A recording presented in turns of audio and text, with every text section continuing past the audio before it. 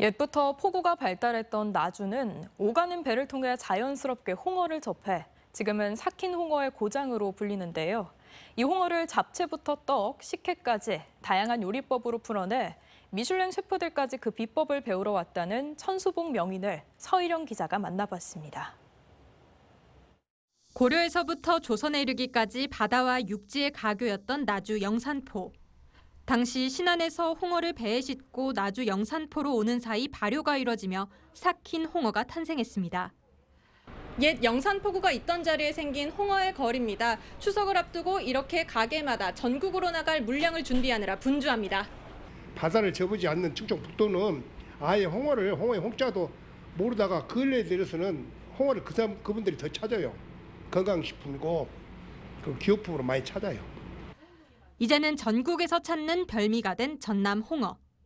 그중에서도 명인의 홍어 요리가 특별한 이유는 호불호를 넘어서기 위한 도전에 있습니다.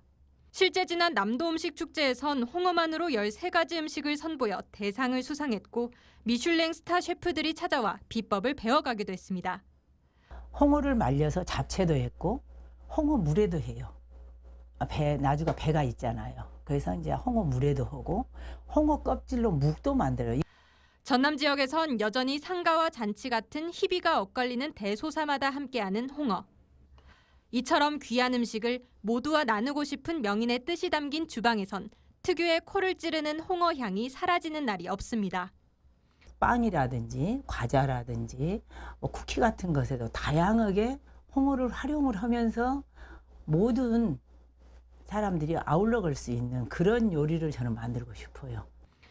전라남도는 지난 4월부터 홍어 식문화의 유네스코 무형문화유산 등재 신청에 나서는 등 남도 홍어를 알리기 위한 홍보 작업에 속도를 내고 있습니다. MBC 뉴스 서희령입니다. 언제 어디서나 내 손 안의 뉴스 광주 MBC 뉴스 유튜브 구독으로 함께하세요. 함께하세요.